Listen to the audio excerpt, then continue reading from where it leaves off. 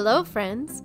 I'm no therapist, but I'm your host, Stephanie Goodman. I'm a wife, a mother, a grandmother, and a woman of faith.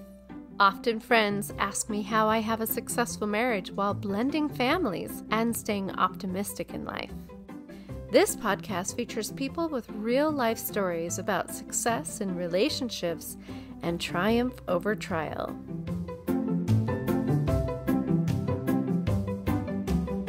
Growing up in a small mining community around the era of World War II and Vietnam came with its challenges, especially when it comes to the expectations of fatherhood. I'm excited to share with you my own father, Lynn Leamaster, as we discuss the changing roles of fatherhood and healing generations. Hello, and welcome to a new edition of I'm No Therapist. But today we're going to focus on those special men in our lives, our fathers. I have in the studio with me Lynn Leamaster, who happens to be my father. Hi, Dad. Hello, Steph. Thank you for choosing to be here today. I'm excited for the conversations that we're going to have. Um, to start us off, first of all, you grew up in a small town that I'm familiar with. Correct. Uh, how many years did you live there? Basically 21. 21 years. Uh huh. And then you moved. Then we, when I got married, we moved to the Salt Lake area, Sandy. Mm-hmm. Then we moved back down and spent, what, nine years Yeah. in Huntington. Was What it? I think it was 13. 13 years. 13. Oh, okay. Yeah. 13 years. Yeah. Um, and then we moved to Upper Utah in Ogden, and we've been there 31 or 32. 31. Okay. 31 years. Good you have the wife here too it's a good thing to she's commemorate those Correct details. the facts. Yeah. Yeah. well, Dad, um I'm I'm excited to be able to get to know kind of the influences that you have had in your life as a father. And so my first question for you is what do you remember about your dad? What qualities did he have? Well, I'll tell you, I've had a lot of angst about how I was going to answer the questions that you sent me. Okay. And I've just decided to be as frank about it as I can rather than presenting uh, an ideal scenario. Okay. Kind of give you a better idea of my perspective of that experience. Okay. Okay. My father was a very good man. He had a good heart. And he was involved in church and community uh, deeply. Yeah. His family experience, his dad was disabled. And in that time, there was no Social Security or other social programs to take care of you. So it fell on the family. Yeah. His older brothers and sisters were basically responsible for helping his parents to get through life. Okay. Um, his go ahead. I was going to say, at what age was that? Was that since he was born that the father was disabled? That I don't know for sure, but I do know that for most of his youth, his father was disabled. He was in an accident working in the coal mine Oh. and he broke his hip. And in that time, they didn't have x rays and really didn't know much about restoring bones to where they needed to be. Right. So they um, just did what they did, and my grandfather's one of his legs was two inches shorter than the other because of the way that hip grew back and it stuck out, and it was a major discomfort Uh huh. for him. Okay. And you know, they didn't have the drugs to relieve the pain, so I'm sure my grandfather was in constant pain Yeah. and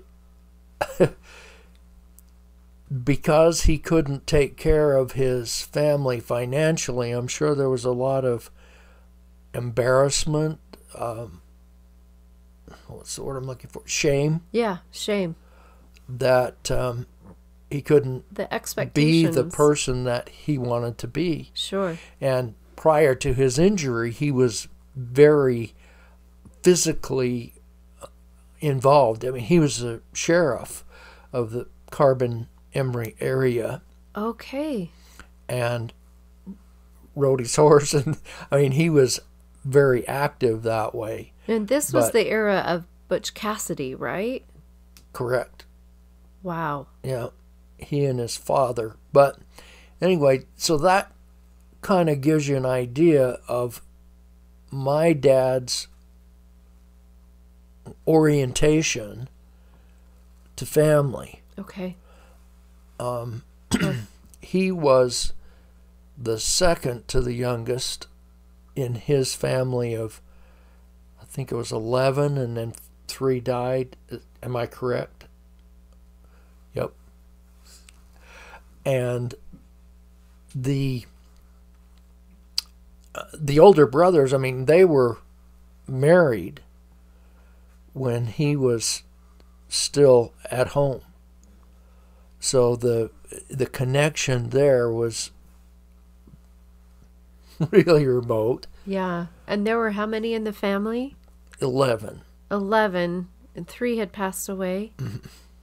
Yeah. Wow. Which was typical for families at that time. It's true. you just kind of um, what expected or allowed for children dying. But um, so my father's exposure to being a father was very limited Yeah. And his uh, experience with people around him was also isolated. So his, I mean, he grew up during the Depression, Mm-hmm. and so he had that kind of orientation to life as well True. His brothers were all coal miners and they were big physical men except for my oldest uncle who was a, a small man but if you talked to someone who knew him they'd never known anyone as strong as my uncle Fawn. Hmm. He could put his they had a a rail on the bridge and he could grab hold of that rail and then just stick his body straight out. Like a human flag? Yep. Oh my goodness. But the the community knew you don't mess with the Leamaster boys. Okay. So that was his family of orientation. Mm. But he was a very sensitive and um, compassionate Mm-hmm. Yes. by his nature. And so he didn't really fit in with his family either. Interesting. But he was also he, he was involved in a lot of their ruckusness and um, the influence of the LDS church in his life was limited. his mother was um, quite committed to it. His father was knowledgeable Okay. and he enjoyed confronting people who were less informed than him And- Interesting. and uh, it's, he had kind of a what maybe a sarcastic approach to religion. Hmm. Plus, he had that challenge. I, I'm sure that he probably had very little sleep. Um, yeah. I'm sure he was just in amount- constant pain. pain. Yeah. Yeah. But the story goes that he had his cane and he'd keep his cane by the door.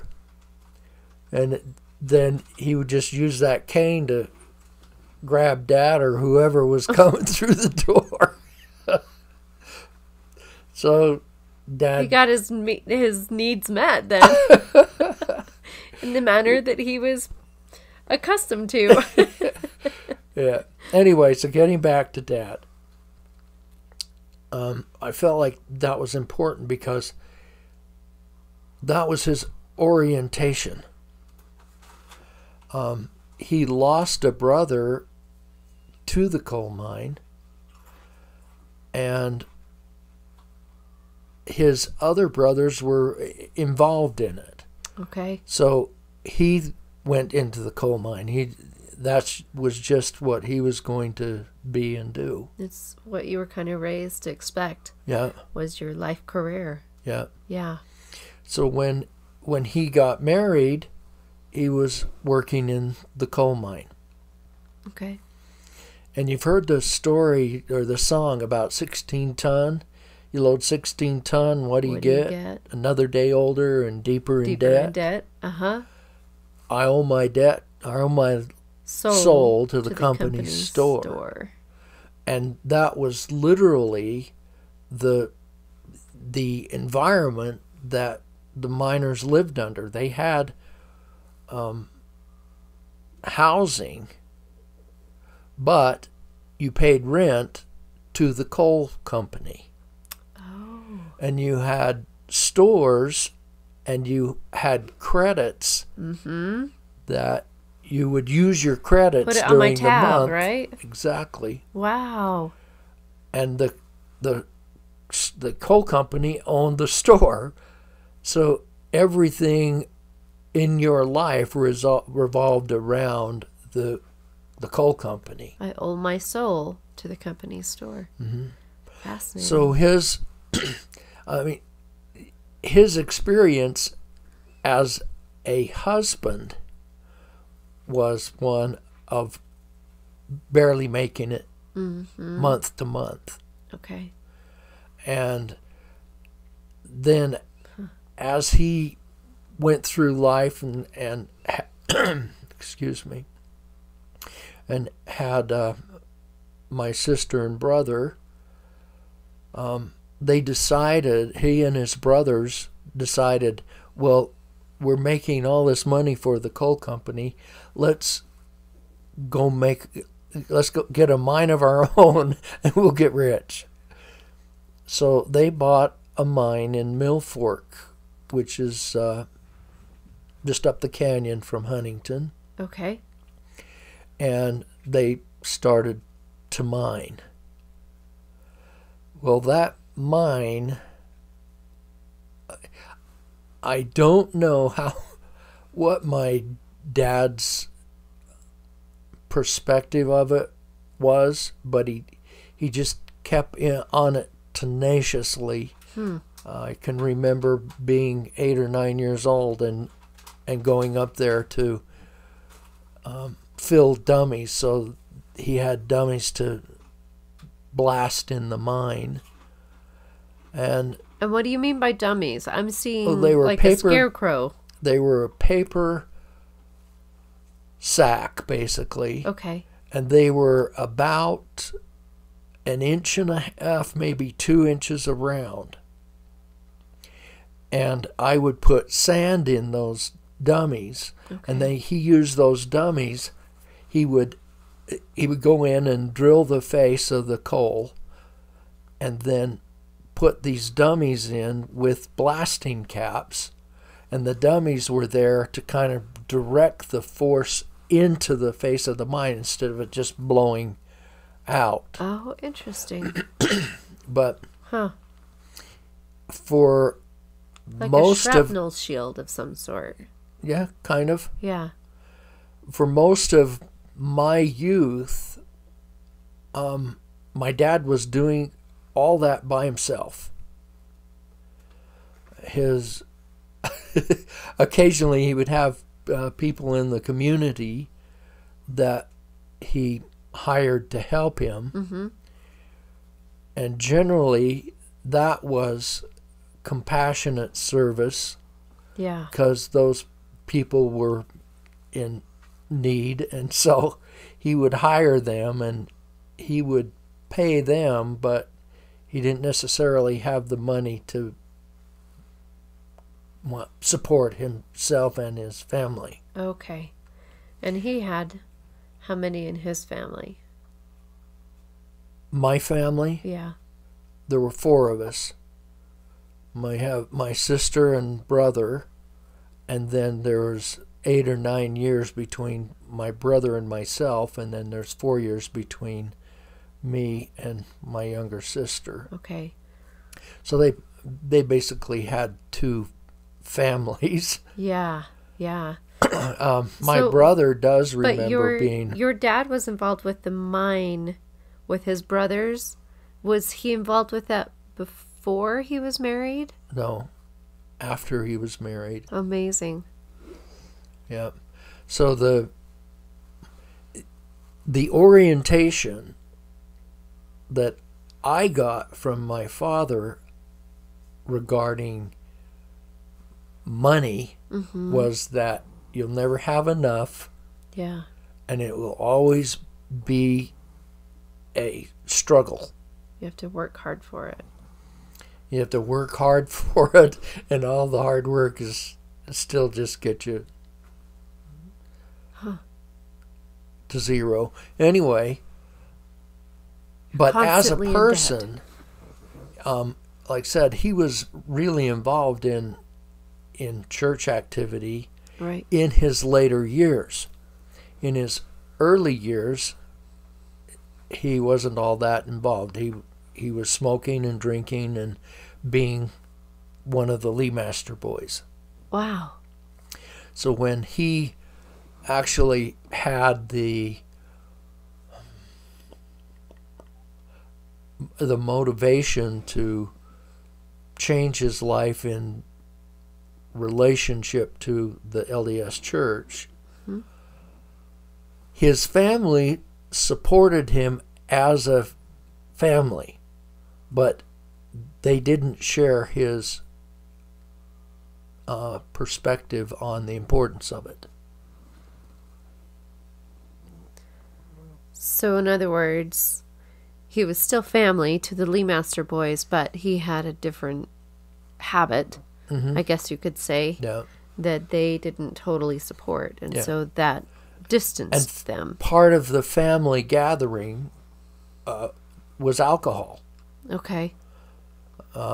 Some of them were involved with smoking as the family grew, but alcohol was a a big part of the family gathering.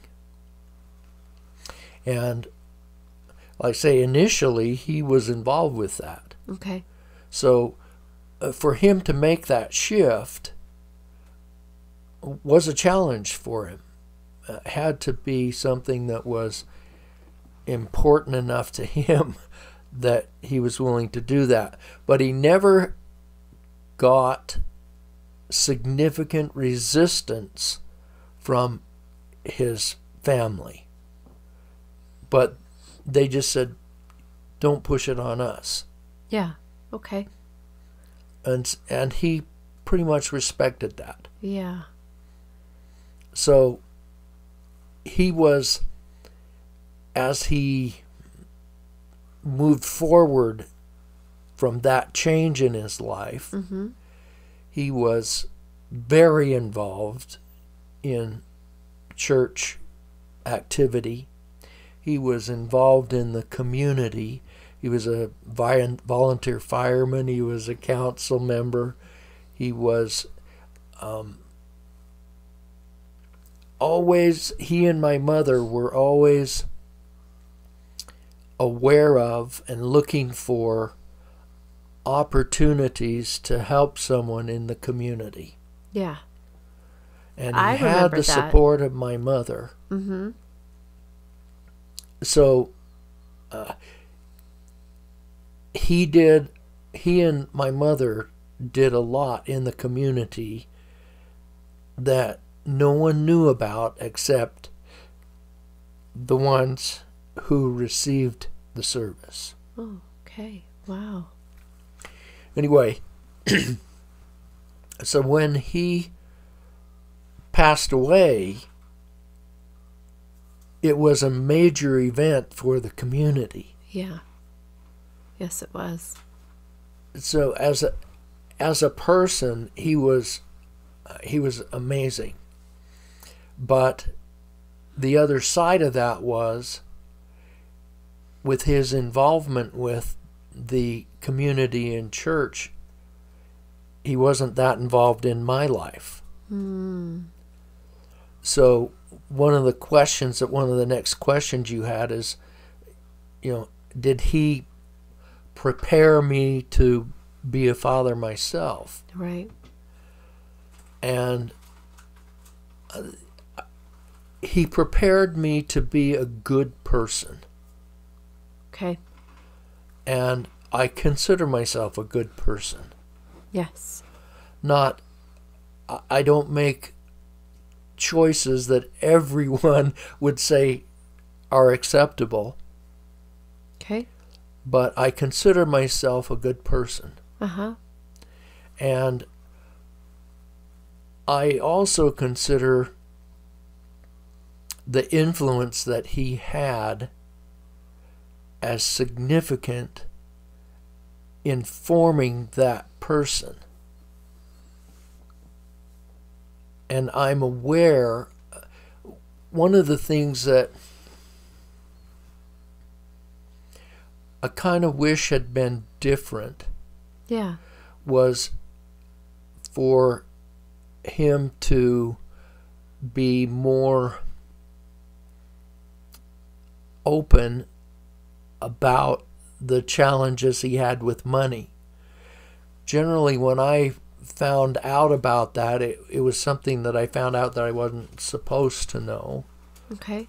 And so I didn't get orientation Mm-hmm. of what are the difficulties and maybe how do you meet those challenges. It was like maybe shame was part of it, maybe, it, but it, it all go back a, a major influence there was the influence of his father in his life, Which was very little. which was very little. And when it was, he was consumed with pain. And I know how I react when I'm in pain. I'm not very talkable. You really can't get deep with me because I'm so consumed with the pain that I'm experiencing. Yeah. So I can imagine And that. the struggle they had with money, uh, I'm sure, uh, when I think about my grandfather, I, I just, my heart goes out to him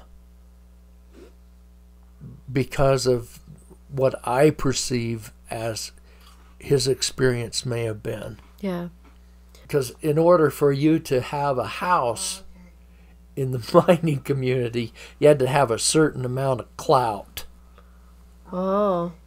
and you waited you were on a waiting list because the the coal company didn't go out of their way to service their employees. Man, that's some tough times. Yeah. That's so interesting. I I put new meaning to that song. I owe my soul to the company store. Yeah. They were singing about their woes, not just a folk tale. Yeah. And then it were- you were saying I got one arm of muscle and the other one still. Yeah.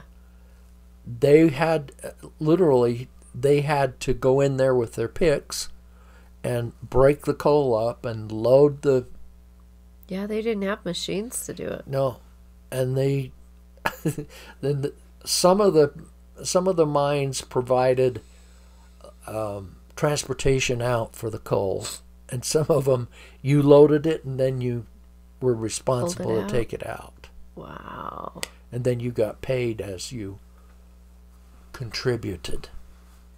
You know, you've got your your dad's situation where he's he's making himself very involved with the community. He's giving service, he's involved with religion, what have you. And and you were, as you say, of a second family, right? Mhm. Oh, Can you share with me maybe going back what is the time that you felt seen by your dad? When when I would do something church related, Okay? Okay, so um, not only did did I feel like there was expectation on his part, but the community expected that also because of the influence that he had in the community. Okay. So, to a large extent, um, I put a lot of emphasis on doing what I thought was expected of me. Yeah. I can understand that. Yeah. Um, And what you felt was expected of you was more driven for the rel- relationship of religion, right? Yeah. And did you get that feedback that you were seeking? For? Well, I got what recognition uh-huh. in it, so I guess I got what I expected from it. Mm-hmm. But Did your dad recognize your talents for not really. no? He didn't. He was busy with other things and other people. Okay. So, given that knowledge, did you make a conscious choice to be more involved with your own family because you didn't want to repeat that pattern, so to speak? To a degree, I did, Yeah. but I wasn't all that involved. Your mother was involved with everything that you guys were doing, Yeah. but I kind of had a pattern of being away from home and just making sure there's food and a house and car and whatever. Yeah. Um, But one thing that I believe I did provide is that when I had time with you, I was totally focused on you. And the time that we did have Yeah. was to in my mind of high quality Yeah. not necessarily quantity mm-hmm. Yeah, I think that I can definitely look back on my own life and I can see those times and why they are so ingrained in my mind. Probably because of your constant dedication to to being focused and being present for me and my siblings at that time. Mm-hmm. yeah like i say i quantity wise, it wasn't that that great. And one of the things that I was embarrassed about was I never felt like I was creating the kind of financial base that I should be. Okay. And I think that part of that was that energetic inheritance Mhm. that came from my grandfather through my dad to me. I, w- I never felt like I was enough. Okay. Yeah, that's interesting. I've never I've never heard those stories before. But I will say that you're not alone in feeling that way. Mm-hmm. And I believe that we all suffer those demons of we're not enough. Especially when we go into a place of being a parent and being in charge of these little people that are looking up to us. Yeah. that responsibility of showing up to them and showing them what you need to be as a parent and when you're suffering with your own demons of "I- i'm not enough and comparing excuse me and comparing yourself to those around you Mm-hmm. without knowing their stories or, or where they got how they got to the place that they are, right? Well, part of that too is that because of the financial condition that my family was in, most of my clothing came from hand downs from Uh-huh. other members in the community. Okay. And one of the things that I think I inherited from my dad was the sensitivity.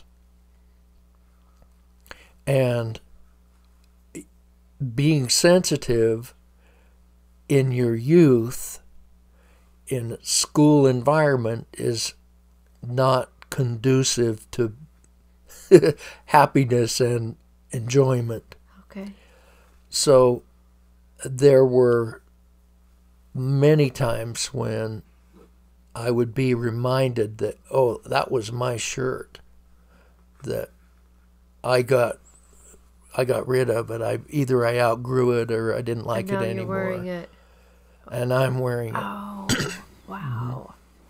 See, now we received hand me downs, but we received it from our cousins who were in another city who we never saw. But I can imagine how hard that would be. Yeah, not to I understand it now Right. looking out in, Mm-hmm.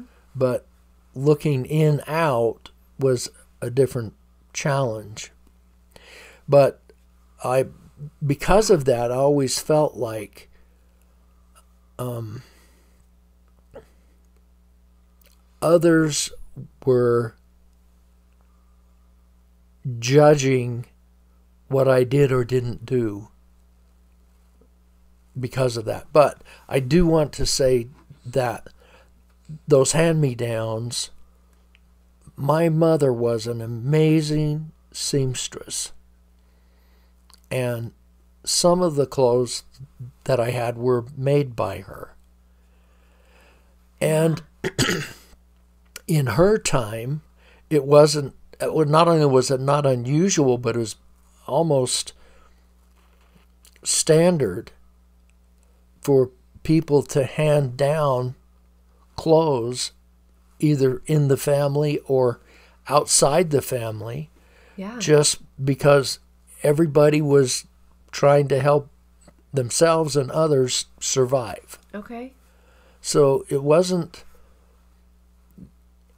as my experience was things were changing. So you had guys that were coming home from World War II and from the Korean War, and they had this attitude about life.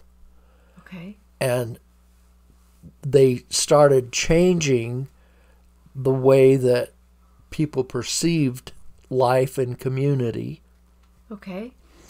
And so it was kind of the disruption that you get as you're shifting a paradigm in terms of society and community and individuality that just made it a challenge for virtually everyone.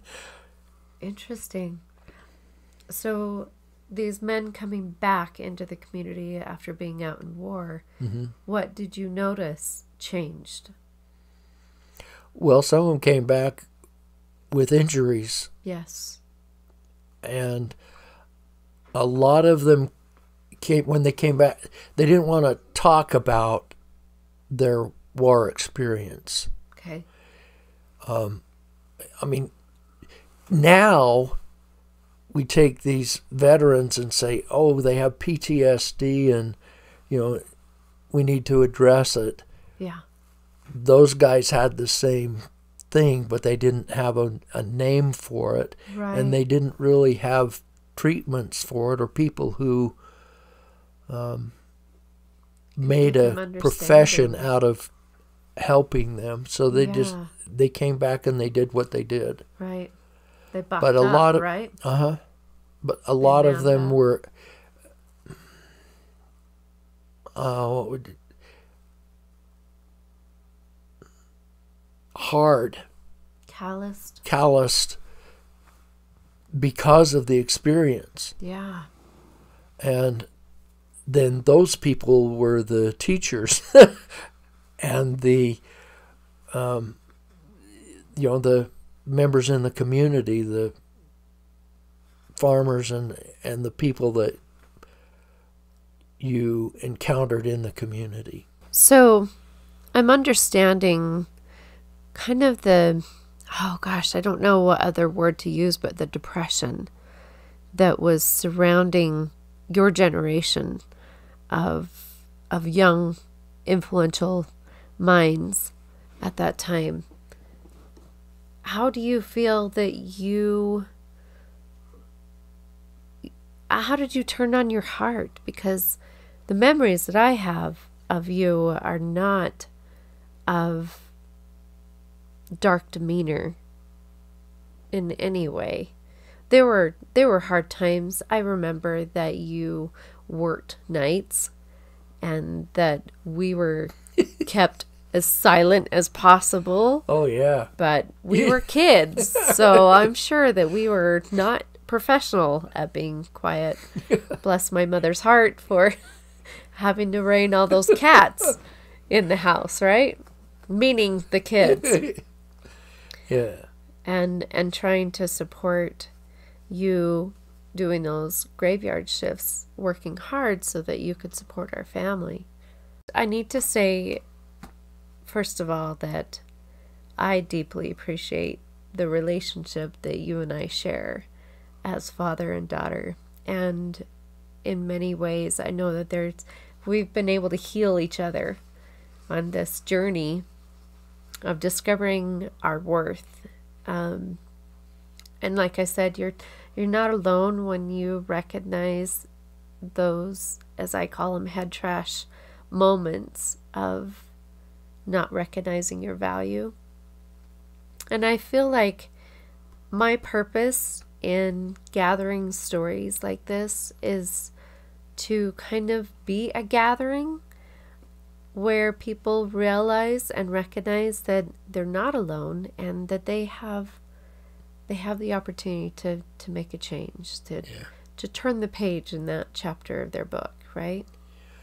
Well, as I was contemplating some of the thoughts that I wanted to share in relation to your questions, yeah I think that one of the challenges and maybe some benefit to it, but of life is to learn to be tolerant of ourselves. Mm-hmm. And as we gain the skill of being tolerant with ourselves, it helps us to be tolerant with others. I laugh because that makes a lot of sense to me.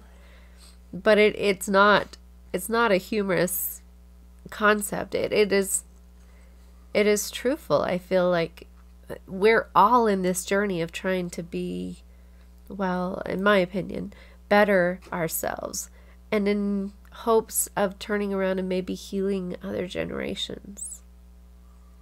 Yeah. And that has a lot to do with the, the idea of a parent. Yeah. Is hopefully providing encouragement and to whatever extent resources yeah that will help the next generation but it's kind of interesting that the the challenge that we're having in our lives now there's a saying that hard men make for good times Good times make easy men. Easy men make bad times. And now you're back to the cycle of bad times Big making hard good, men. hard men. Huh. I have never heard that quote before. That's fascinating. Yeah. And so, where do you see that our generation of new fathers are from your generation? I mean, they grew up in a totally different world Yes. than I grew up in. Right. They they have exposure to violence Uh huh. that I didn't have. Correct. They have challenges uh, with emotions that I didn't have. Mm. Or we're allowed to have. Yeah. To interesting. Yeah, but um,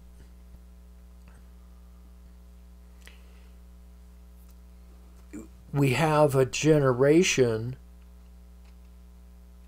of soft people, Okay. and they, Sensitive. in many ways, they don't Not sensitive. know what it took to get to where we are now.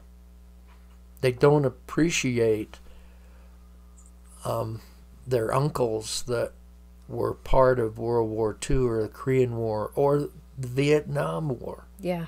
Right.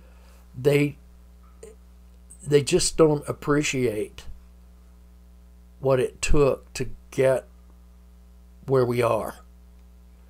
And they're also being told or taught that things should just come to you because you're here. Right. You're owed. You're owed. Yep. Yeah. Yep. And it's creating challenges.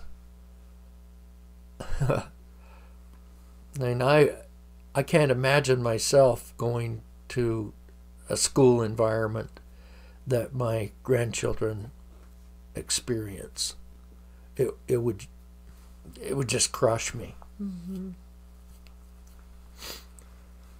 Yeah, they are they are in a tough place.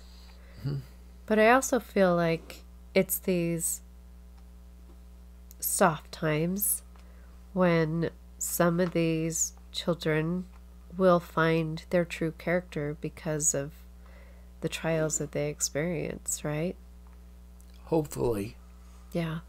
That's when you're dealing with emotions.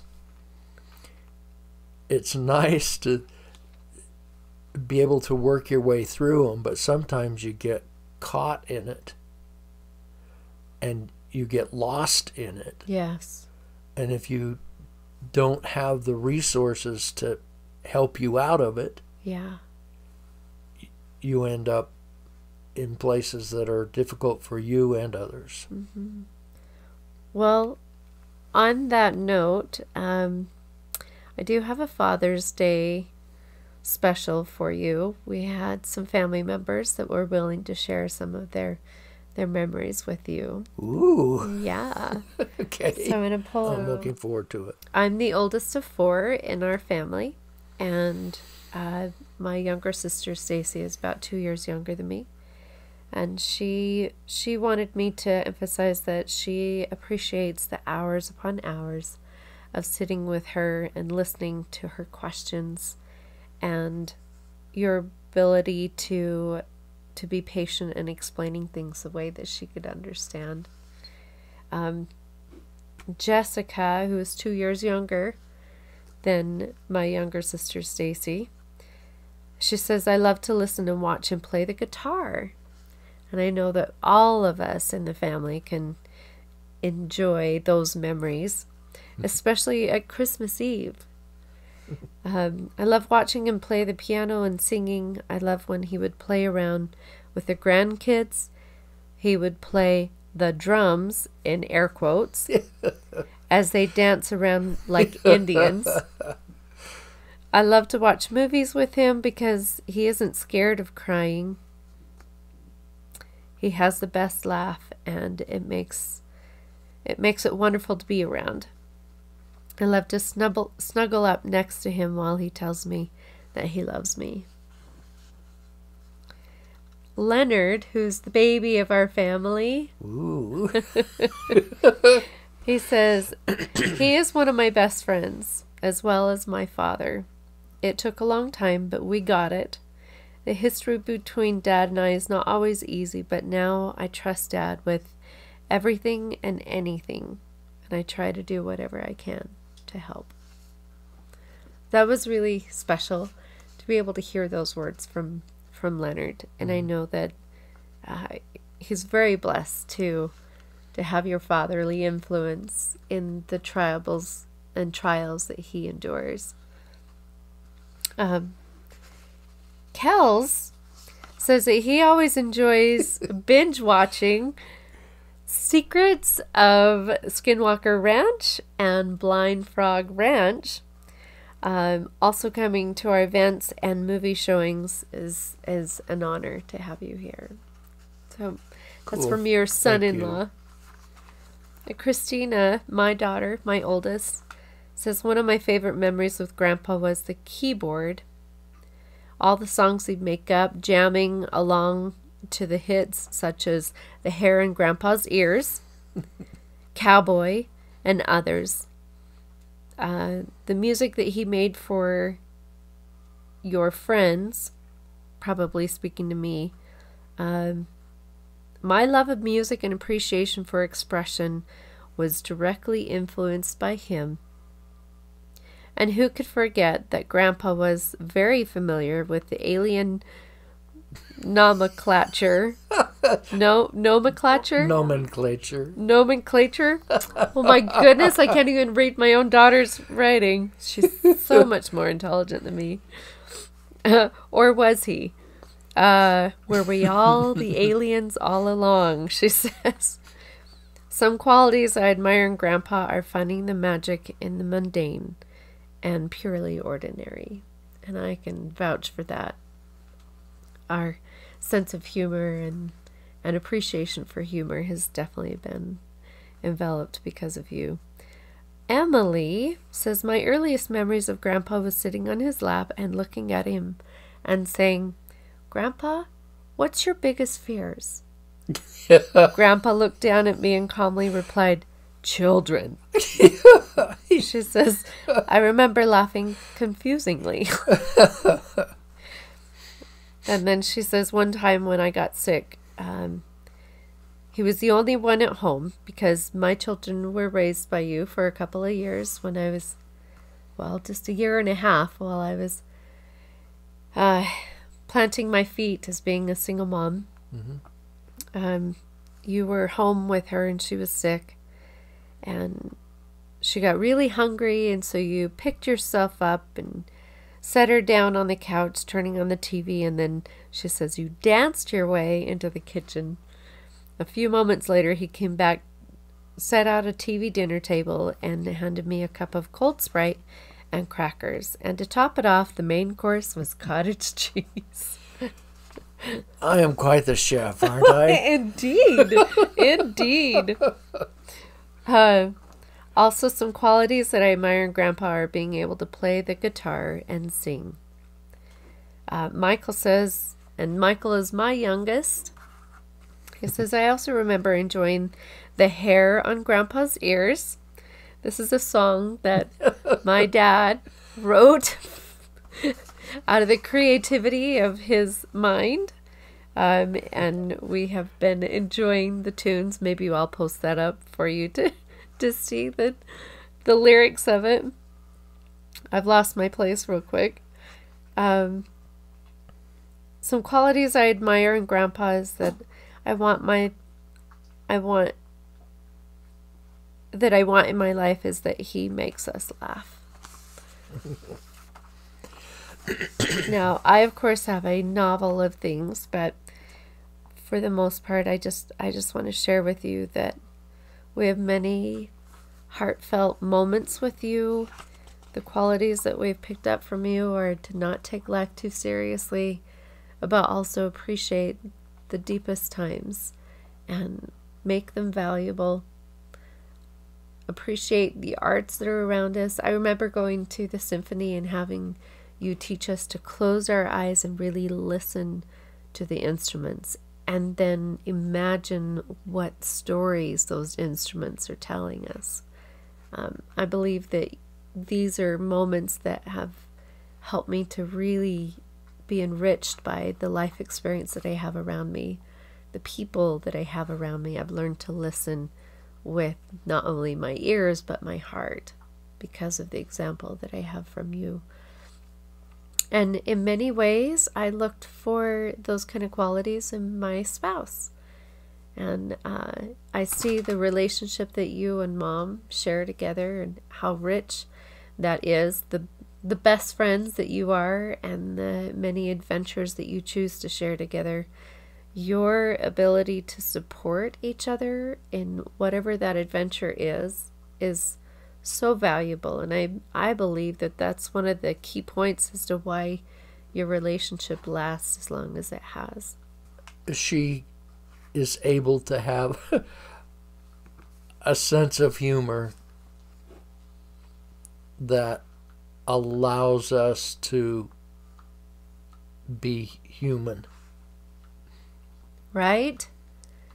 That is so profound because sometimes we forget that we're human or we expect perfection and don't allow ourselves to to be in compassion.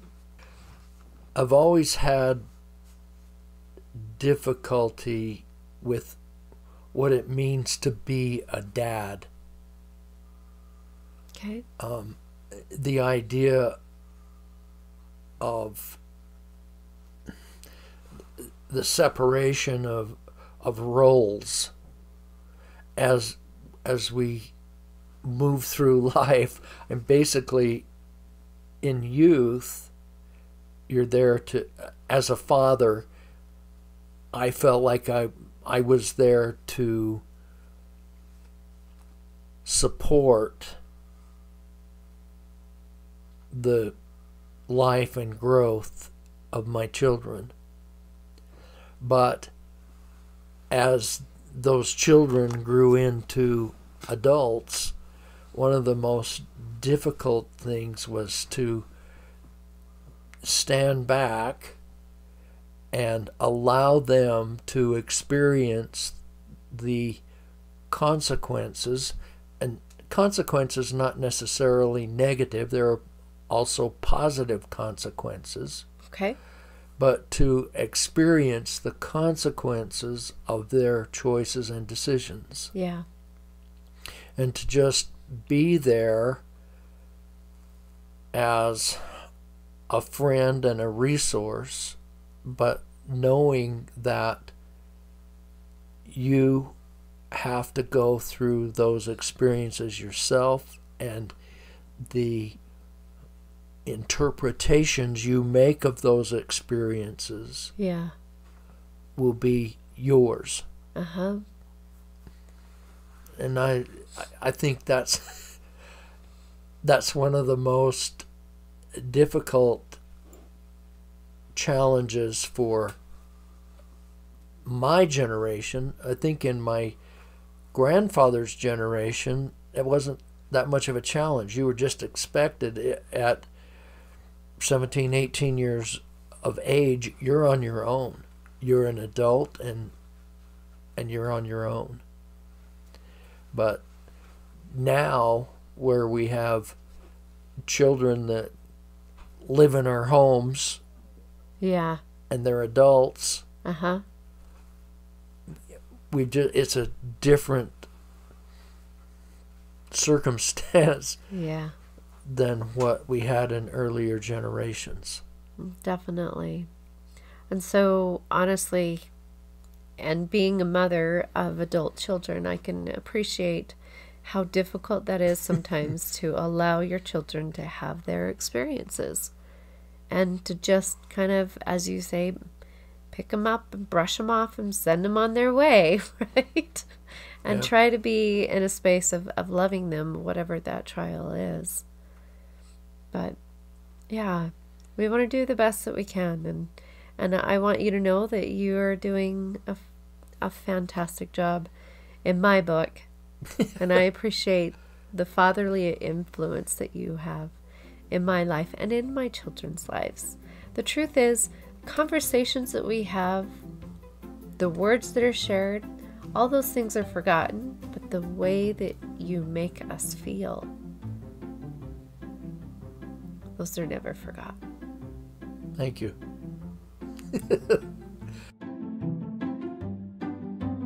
If you've enjoyed this episode, remember to subscribe, share, like us on Facebook, and follow us on Instagram.